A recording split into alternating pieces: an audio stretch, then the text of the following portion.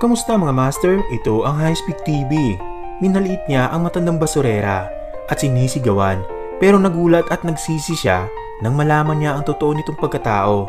Sa buhay, may mga magkakaibigan talaga na gagawin ang lahat para makuha lang ang inaasam na pangarap o posisyon kahit na may tao na masasaktan at meron namang magkakaibigan na nagtutulungan para maabot ito. Ang kwentong ito ay tungkol sa dalawang empleyado na magkaibigan na sina Mark at James na nangarap na maabot ang inaasam nilang posisyon. Tunghayan natin sa video ito kung paano napaya itong si James at kung sino ang napiling bagong senior manager. Pero mga master, kung bago ka palang napadpad sa aking channel, ay baka pwede makahingi ng subscribe sa inyo at pakipindot na rin ang notification bell. So ano pang nintay nyo? Simulan na natin! May dalawang magkaibigan na nagtratrabaho sa isang kumpanya. Ito ay ang ITS company. Sa sobrang busy nila Mark at James, ay biglang lumapit ang kanilang manager na si William. At ito ang sabi ni William, May bagong posisyon tayo at kayong dalawa ang qualified sa posisyon na ito. Mag-apply kayo ha. Nagtanong naman itong si Mark, Ano po ito sir? Sumagot naman si William, senior manager.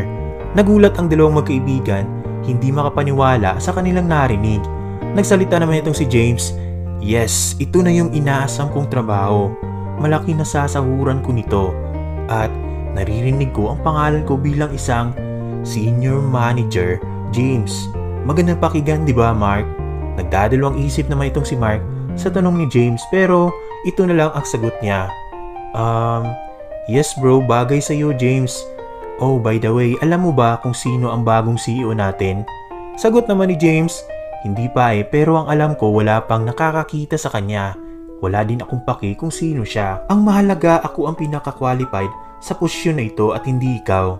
Hindi na lang umimik itong si Mark para wala ng gulo. Samantala, ng araw ding yon, may lumapit na matandang basurera para kunin ang mga basura nila na nasa ilalim ng desk nila. Ang sabi nito, pasensya mga sir ha, pero pwede niyo po bang kunin yung mga basura na nasa ilalim ng desk nyo? Nasa pinakailalim po kasi.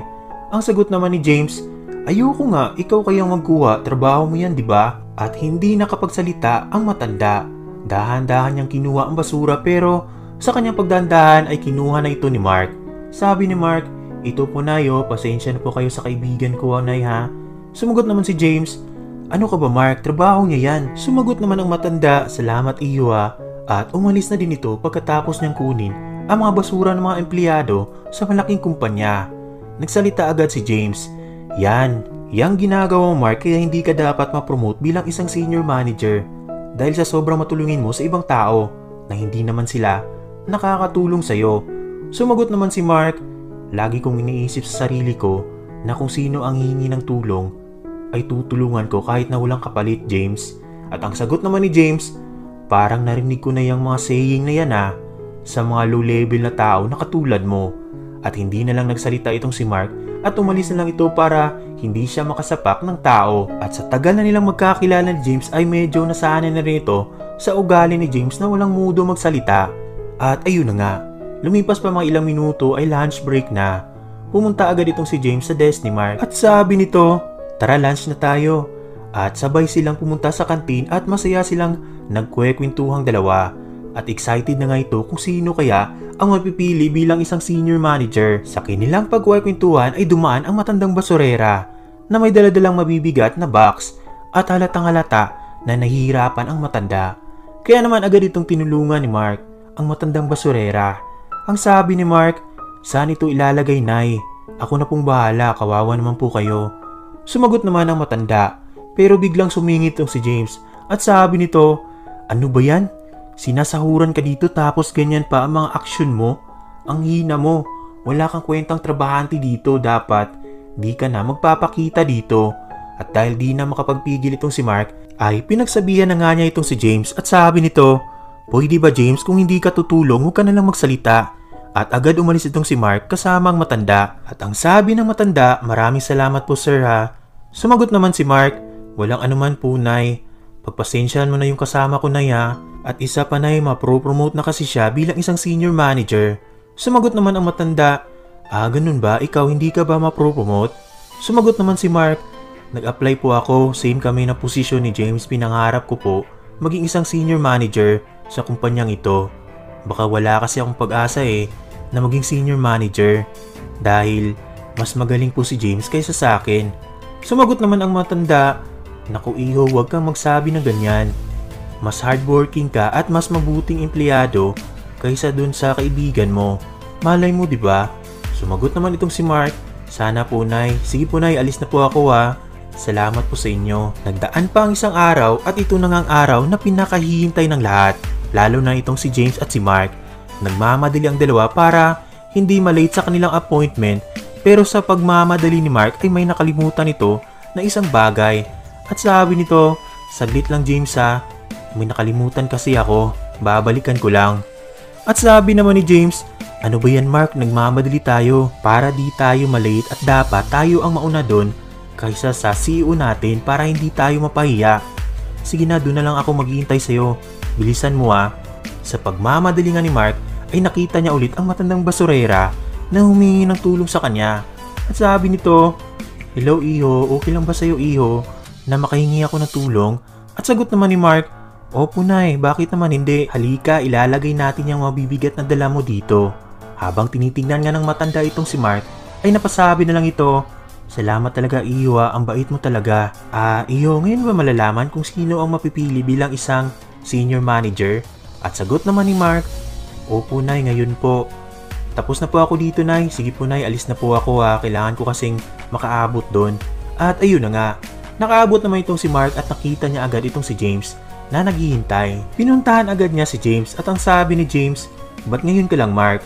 Sagot naman ni Mark, Sorry James ha, nakita ko ulit kasi si nanay na nahihirapan at humingi siya ng tulong sa akin kaya tinulungan ko. Sagot naman ni James, Ano ba yan Mark, hindi ka talaga deserving na maging isang senior ma... At biglang ang napatigil itong si James sa sasabihin niya sana kay Mark at hindi pa natapos ang kanyang pagsasalita dahil dumating na ang CEO nila. Sa kanilang paghaharap, hindi ka makapaniwala ang dalawa sa kanilang nakita dahil nakita nga nila ang matandang basurera. Napaisip sila bigla na ang matandang basurera pala at ang CEO nila ay iisa. Nagtinginan ang dalawa sa isa't isa at hindi makapaniwala ang magkakaibigan at sa mga oras na yun ay biglang nagsalita ang CEO nila.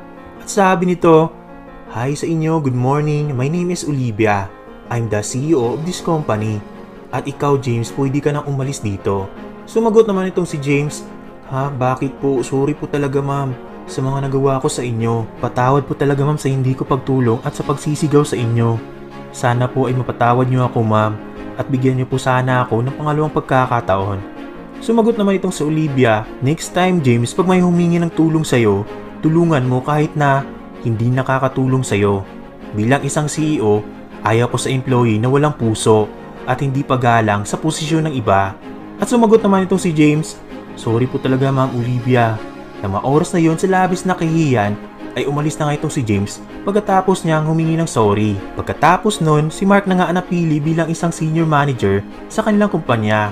At sabi ng CEO, Congratulations Mark, deserve mo ang posisyon na ito. Sagot naman ni Mark, Thank you po talaga Ma'am Olivia, sobrang saya ko po. Matagal ko na pong pinapangarap ito ma'am. Maraming salamat po talaga. Sumagot naman itong si Olivia, You're welcome Mark. Salamat din sa mga naitulong mo sa akin dahil hindi ako nahirapang pumili ng bagong senior manager. At balang araw ikaw na rin ang papalit sa akin bilang CEO pag nagretiro na ako. Ito yung hinahanap ko sa isang empleyado, ang pagiging matulungin at may magandang asal at ang pagtulong sa iba. At sabi naman ni Mark, salamat talaga Ma'am Olivia ha. Pero ano na po ang mangyayari kay James? Sumagot naman ang CEO nila at sabi nito, huwag kang mag-alala Mark, bibigyan ko pa siya ng pangalawang pagkakataon. Nagdaan pa ang mga taon at dahil sa busilak na puso at dedikasyon ay naabot na ni Mark ang kanyang mga pangarap at mas lalo pa itong umasenso dahil sa kasipagan na rin nito. Kalaunan ay napansin din ni Mark na unti-unti na rin nagbago itong si James at naging humble na rin ito kumpara dati na saksakan ito ng yabang at naging maingat na rin ito sa mga masasakit na salitang magbibitawan niya at natuto na rin ito sa kanyang pagkakamali. Sa buhay, dapat matutong limingon sa pinanggalingan. Tandaan natin kung saan tayo nagsimula. Balikan natin yung panahon nung tayo ay simpleng tao pa lamang at hindi pa tayo ipinanganak o nabuhay sa mundong ito para maging bastos sa kapwa. Kung hindi rin lang maganda ang sasabihin natin sa kanila, ay manahimik na lang at baka makasakit pa tayo ng iba. Lagi rin tandaan na kung ano mang meron ka ngayon ay wala kang karapatan mang maliit ng iba lalo na yung may mababang posisyon. Bagkus tulungan mo rin silang umangat sa buhay. Once again, this is High TV. Mag-iwan na salitang Peace out!